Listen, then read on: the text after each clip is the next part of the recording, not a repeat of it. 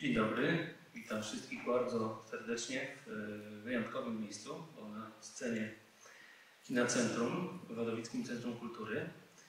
E, a to może sugerować, że będziemy mówić o filmie, bo film jest w pewnym sensie bohaterem naszego spotkania. W pewnym sensie, bo tak naprawdę bohaterami naszego spotkania są Państwo, którzy w tym filmie występują, ale po kolei. E, rok mamy wyjątkowy z wielu powodów. Jeden, który się nasuwa wszystkim, to o nim mówić nie będę, ale e, jest to rok jubileuszu e, urodzin Karola Wojtyły, Jana Pawła II. Przeróżne na tą okoliczność wydarzenia były organizowane. Muzeum Miejskie w Wadowicach też chciało w jakiś sposób uczcić to wydarzenie. I postanowiliśmy zaprosić Wadowicza do projektu, w którym Wadowiczanie wspominaliby swoje spotkania, swoje wrażenia związane e, z postacią wielkiego rodaka. E, chciałem zapytać, jak zrobić taki wyjątkowy film.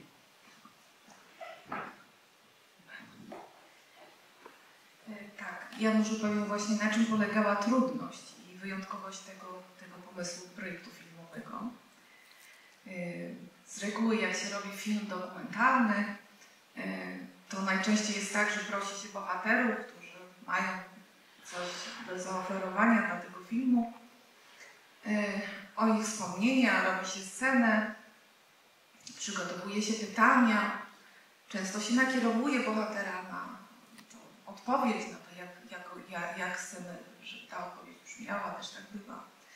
E, nam zależało, żeby pokazać e, bardziej emocje, odczucia, jak najbardziej szczerze. Wiedzieliśmy, że jeżeli my jako twórcy, jako reżyser, operator staniemy obok Państwa w przestrzeni, którą natychmiast będziemy chcieli zaaranżować, bo w my za nią odpowiadamy, tak, to my wyznaczymy miejsce, gdzie oni będą odpowiadali, Będziemy im zadawać pytania i te ich odpowiedzi już nie będą takie szczere. To będzie dodatkowy stres, bo jednak jest osoba, która je pyta.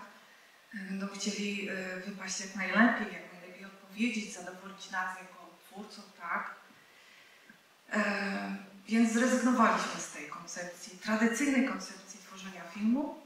Postanowiliśmy sami sobie zadać wiele trudu e, i stresu, dla nas to był ogromny stres i poprosiliśmy Państwa, żeby sami, e, bez naszej obecności, w przestrzeni, którą sami sobie e, wymyślą, o której sami zdecydują, tak jak będą czuli intuicyjnie, że się w niej dobrze czują, opowiedzieli na, na pewne pytania, które im luźno zadaliśmy. Kim dla Państwa był papież? Jak go wspominacie? Nie mieliśmy zielonego pojęcia, co oni nam opowiedzą, jak to opowiedzą, e, czy uda się e, być im szczerym w tych emocjach. No i jak zwykle e, taka prawdziwość ludzka nas zaskoczyła. Oni zrobili to intuicyjnie. I ja myślę, że takie momenty jak, jak na filmie, w którym ktoś nagle odchodzi w myślach gdzieś głęboko, czujemy, jak szuka w sobie odpowiedzi, jak głęboko ją tam, prawda, odgrzebuje w jakichś najgłębszych zakamarkach, gdzie te emocje zaczynają z pamięcią tam gdzieś, prawda, współgrać, gdzieś w koło, wręcz nawet konkurować. E, ja zapewniam, że takich momentów nigdy by się nie udało utrzymać, gdybyśmy tam byli z Marcinem i na nie patrzyli, oświetlali go ich światłami, stresowali masą sprzętu, to wszystko nie byłoby no i potem był trud i stres dla nas ogromny, bo musieliśmy cały ten materiał, który Państwo dla nas zgromadzili, tak naprawdę y, do końca pewnie nie wiedząc o co nam chodzi, y, a być może mając jakieś wątpliwości i myśmy z tego dopiero składali film. Y, więc tak właściwie to ten film tak się tworzył sam. On nam sam się kazał stworzyć. Podpowiadał nam teraz tak, teraz tak, no bo myśmy już nie mieli nad nim kontroli, jak, jak, jak on był realizowany. I stąd jest jego wyjątkowość. Więc wydaje mi się, że gdyby, jeżeli my chcemy mówić o emocjach, szczerych emocjach i mamy szacunek dla widza i chcemy widzowi powiedzieć, zobaczysz prawdę, to właśnie ją zobaczy.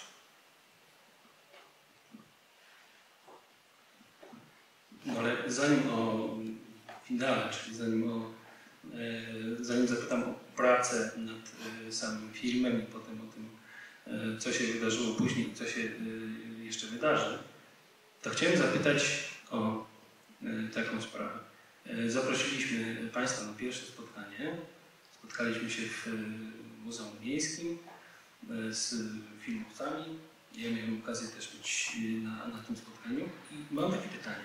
Państwo z tego spotkania wyszli po półtorej godziny. I co sobie wtedy myśleliście? Z perspektywy dnia dzisiejszego. To, był, to była wiosna, prawda? Wiosna tego, tego roku.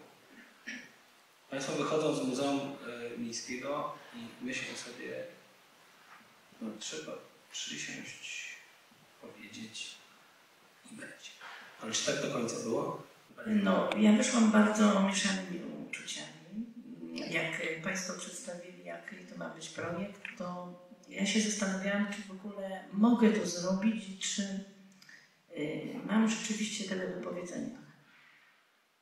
Y, chodziło mi o to, czy właściwie to nawet, czy godna jestem tego, żeby opowiadać o Ojcu Świętym. No miałam parę razy takie wątpliwości. Nawet mówiłam Pani Ani, że chyba zrezygnuję po paru razie filmowania. Ale potem z biegiem czasu y, po prostu mi to minęło i zrobiłam. Ja również miałam mieszane uczucia, ale myślę, że to związane było też y, z moim brakiem pewności siebie. Ale ten Jan Paweł II jakoś tak całe życie za mną chodzi. Mieszkałam w Rzymie 9 lat. Na audiencję chodziłam prawie co niedzielę. I, I czekałam na to błogosławieństwo od Jana Pawła II.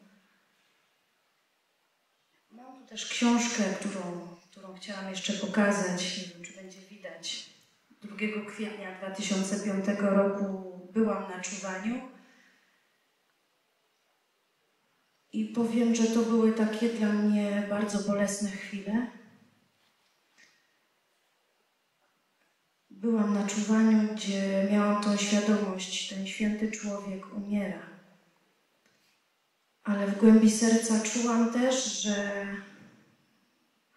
że będę chciała to przekazać innym, że warto się modlić, warto mieć Pana Boga w sobie.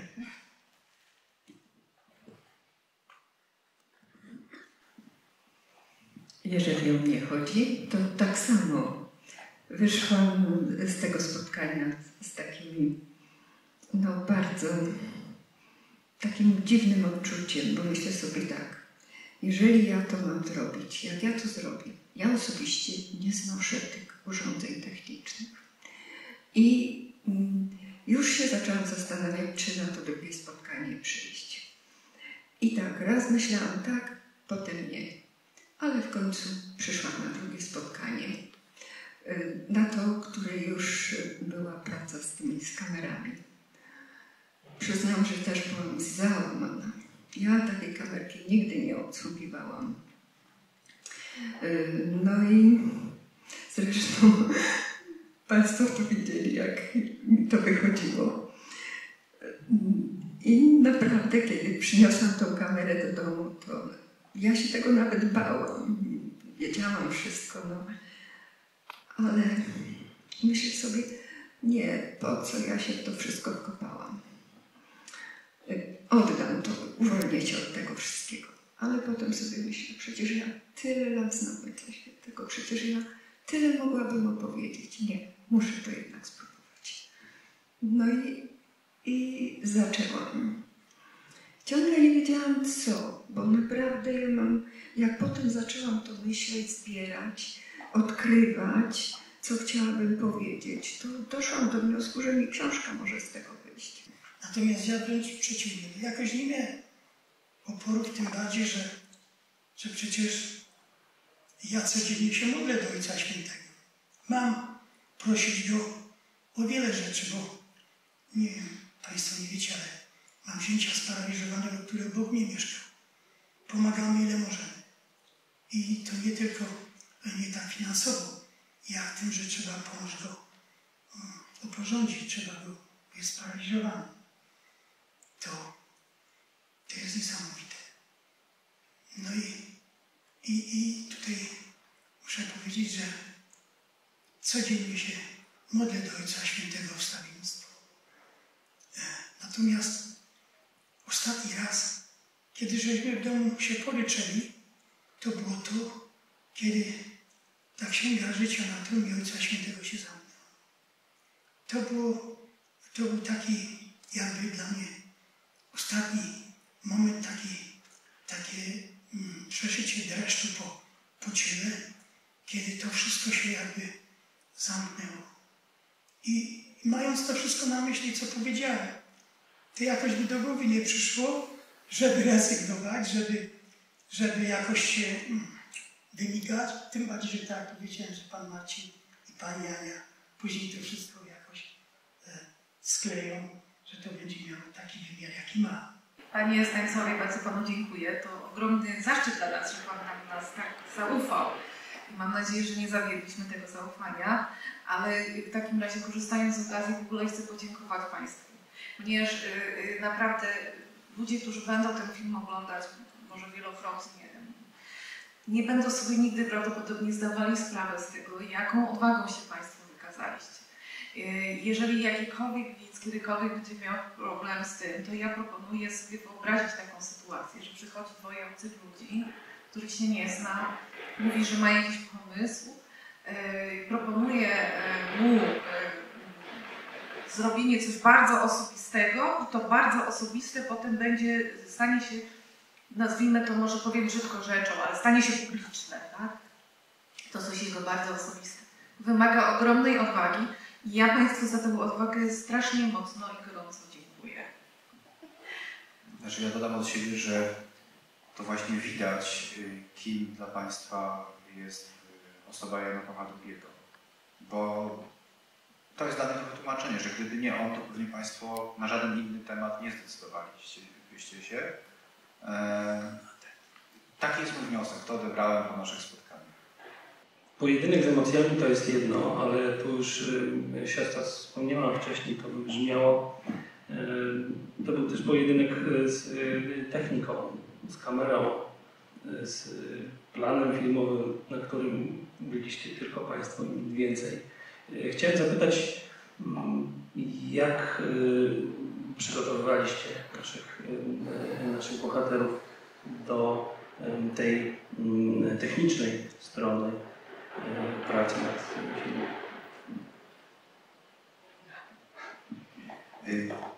To, co mi najbardziej w pamięć zapadło, właściwie chcę takie troszkę anegdoty zacząć, to to, że wszyscy byśmy tak reagowali na kamerę. Moim zdaniem do przełamania najtrudniejsze było to, i to się końcu świetnie udało, że ponieważ oglądamy filmy, oglądamy telewizję wszyscy na co dzień, widząc kamerę staramy się kopiować kogoś, kogo widzieliśmy w telewizji. E, I chyba pierwszy etap polegał na tym, żeby zapomnieć o tym, że próbujemy być tacy jak ta pani, którą znamy na co dzień z okienka, czy ten pan, którego znamy na co dzień z okienka. E, bardzo szybko Państwo, bardzo szybko porozumieliśmy się, że żeby wykasować sobie z głowy takie skojarzenia. I kiedy to się udało, a to, to tak naprawdę rozmowa była do tego konieczna i tam kilka drobnych ćwiczeń. Kiedy to się udało, to Państwo już zabrali ze sobą kamerki do domów e, i właściwie większość tych rzeczy, które zobaczyliśmy w filmie, to są te pierwsze próby w domach przeprowadzone, te pierwsze wspomnienia. E, I właśnie potem, znowu w tych kolejnych etapach, kiedy no, były też duble, że się tak wyrażę, Państwo próbowali nagrywać raz jeszcze, bo tam się, no nie będę wnikał, jakie tam problemy się pojawiły, no nie, nie podobało się to do końca. Gdzieś niektórzy z Państwa chcieli raz jeszcze i wtedy znowu wróciła ta pani z okienka, czy ten pan z okienka. Natomiast za pierwsze istotne to jest, jak wiele nas otacza mm, może też skupić nam się jest przez to trudno. Jak wiele bodźców nas otacza i wzrokowych właśnie i, i też i słuchowych.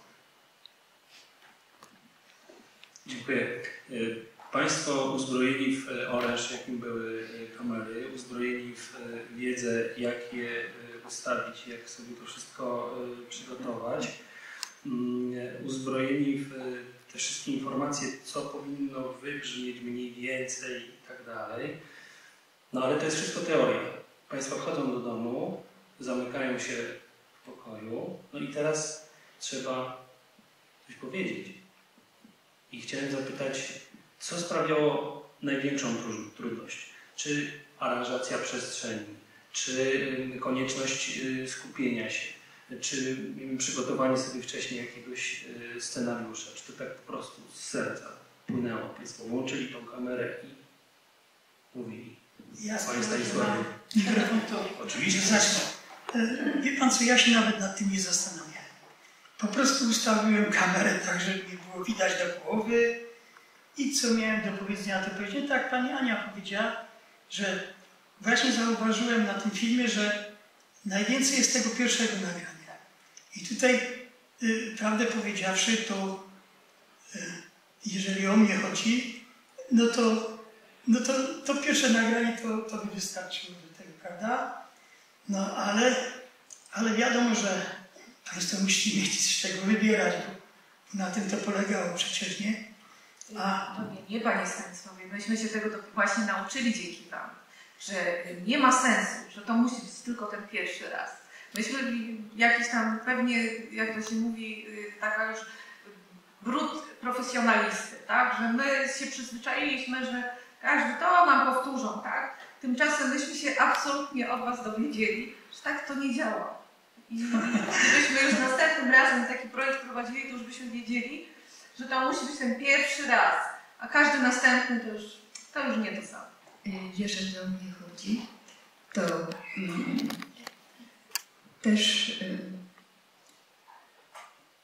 oczywiście tak jak wspomniałam, nagrywałam wszystko w swoim pokoju, więc musiałam wybrać taki moment, żeby mi nikt nie przeszkadzał, kiedy nikt nie będzie trzaskał drzwiami, oknami, kiedy nie będzie dzieci na podwórku, które krzyczą, kiedy panowie, y, którzy akurat robili przed domem przez bardzo długi czas, kopali Ym, też już wyjadą, więc musiałam szukać czasu, kiedy będzie spokój, kiedy będzie cisza, bo wiedziałam, że to jest niezbędne, żeby już tam niczego nie było dodatkowego oprócz tego, co ja powiem.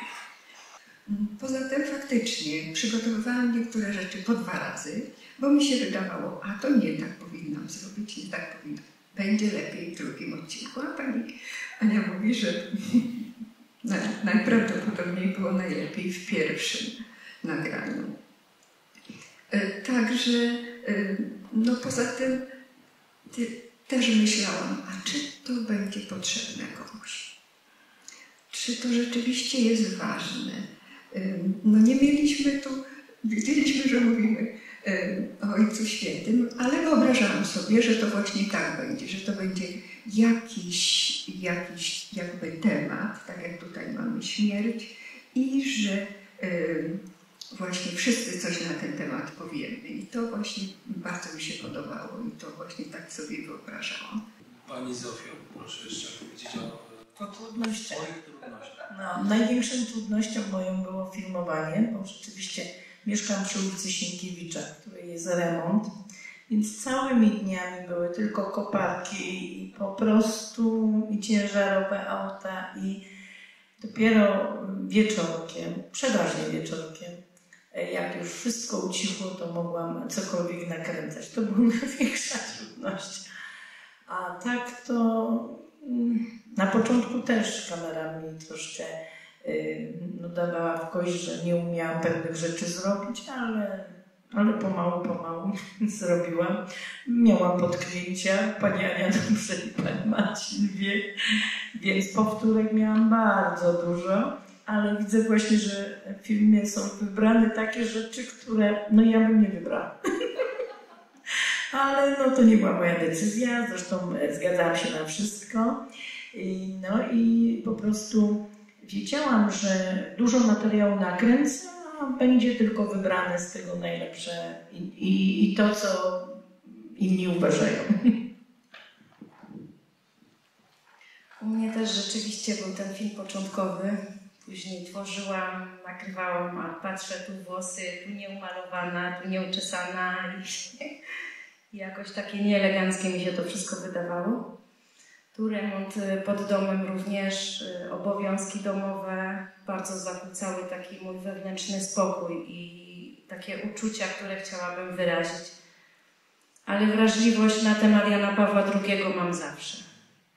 Bardzo dziękuję. W momencie, kiedy y, przed Wami na stole leżała surówka, nazwijmy to, tak kilka, może kilkanaście, może nawet godzin nagrań, to stanęliście przed ostatnim zadaniem, czyli zrobić film. Jakie, jakie trudności mieliście? Albo czy to, co sobie założyliście, to finalnie wyszło. O, może w ten sposób. Czy to, co założyliście, to finalnie zobaczymy na ekranie. Ania już trochę powiedziała o tym, że, że, że film w jakimś sensie sam się zrobił, mówiąc brzydko. E, po, pokazała się ta myśl, ale mm, no tak, no początkowo sami stanęliśmy przed wielkim, mieliśmy wielki znak zapytania. No przede wszystkim jakby po raz kolejny E, bo my spotykając się z Państwem częściowo przeglądaliśmy te materiały wspólnie i e, już tam jakiś zarys e, był, pewien, pewien pomysł na wybór materiałów, no ale oczywiście potem trzeba było sobie to, musiało się, jak to się mówi, odleżeć i trzeba było sobie spokojnie to jeszcze raz obejrzeć. No, nie będę zdradzał wszystkich sztuczek warsztatowych, które próbowaliśmy użyć, żeby, żeby w sposób odpowiedni podejść do tego materiału. To znaczy bardzo różne były pomysły, najpierw chronologicznie układać, potem e, tematycznie. E, I właściwie i tu był bardzo dobry pomysł Ani, żeby się skupić po prostu na emocjach i żeby wybrać te y, przede wszystkim te materiały, które, no powiem tu brzydkim takim trochę slangiem, którym ja uwierzę. To tak mówi się z naszego punktu widzenia. Jeżeli jest jakiś materiał, oglądam go i mówię, ja mu wierzę, czy ja jej wierzę. Y, od tego się zaczęło? Mm, ja powiem szczerze, ja miałam takie momenty, że kiedy na przykład Państwo przynosili swoje materiały, ja je oglądałam i ja już czułam, o to jest to. Ale jeszcze nie powiem. Poczekaj. Bo ja wiem, że jak powiem o to jest to, to na przykład Pani, czy siostra, czy ktośkolwiek będzie próbował na przykład zrobić to tak samo. Więc ja mówię, zachowałam sobie to w głowie. Ale ja już czułam, bo i każde kolejne spotkanie, to ja już czułam, że jeszcze nie miałam w głowie tego obrazka, tak? ale ja już czułam, gdzieś na środku czułam, że zbliżamy się do tego celu, o który nam chodzi. I faktycznie y, tutaj y, Marcin ma rację, od obaj Marciny mają rację. Największy problem był taki, że jak zasiedliśmy już do tego, jego był bardzo duży. Ja się cieszę, że ten materiał w muzeum zostanie, bo to jest bardzo ważny i cenny materiał, y, dokumentacja. I, I, trzeba było w skupieniu jeszcze raz wszystko przesłuchać, czy nic tam nie umknęło. Czy wszystkie klocki, które wybierzemy, będą nam się później montowały, składały. I tu się właśnie zaczęła wojna. Marcin miał inną troszeczkę koncepcję, ja inną koncepcję. Myśmy stoczyli bardzo ciężką walkę, taką bitwę pod Kurskiem, to była taka pancerna wojna. No i z tej wojny pancernej jednak, jak zaczęliśmy to już później walcząc, składać, dyskutować nagle oboje stwierdziliśmy, o jest, o jest. I to potem już były tylko naprawdę takie drobne korekcje, zmiany. I ja to powiem jeszcze może za Marcina. Ogromnym problemem było później złożenie to tak, żeby było technicznie. Dźwięk. Pamiętajcie Państwo, że to były przecież kamerki, no nie do końca profesjonalne. Każda z nich, każdy z Państwa nagrywało w innych warunkach. Trzeba było dopracować dźwięk, tak dalej.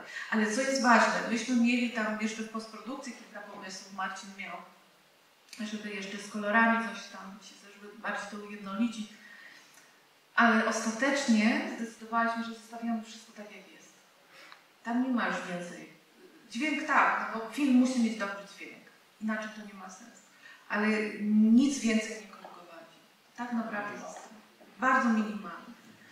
No i dużym dużym trudnością było też dla nas, znaczy dla mnie, bo to akurat ja y, y, musiałam wymyślić początek, żeby tego widza wprowadzić, żeby on wiedział, na co on patrzy i co ja y, jako reżyser od niego wymagam od widza, bo widzu też trzeba wymagać. Z naszego spotkania, które zmierza już wielkimi y, krokami do y, finału, wybrzmiewa mm, taka y, dość ciekawa też konkluzja z tego, co Państwo i to wszyscy mówili. Oprócz tego, że to było wyjątkowe doświadczenie i to chyba dla każdego z tu obecnych, to jeszcze ciekawe jest to, że wszyscy się od siebie czegoś nauczyliście.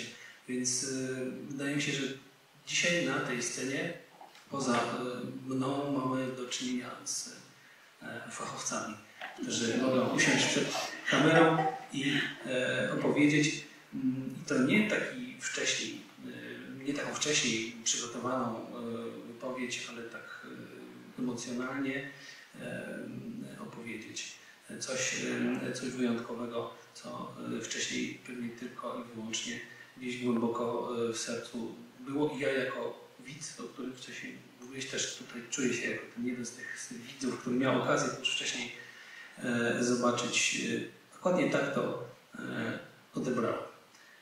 Państwo jeszcze nie mieli okazji tego zobaczyć, ale zobaczą.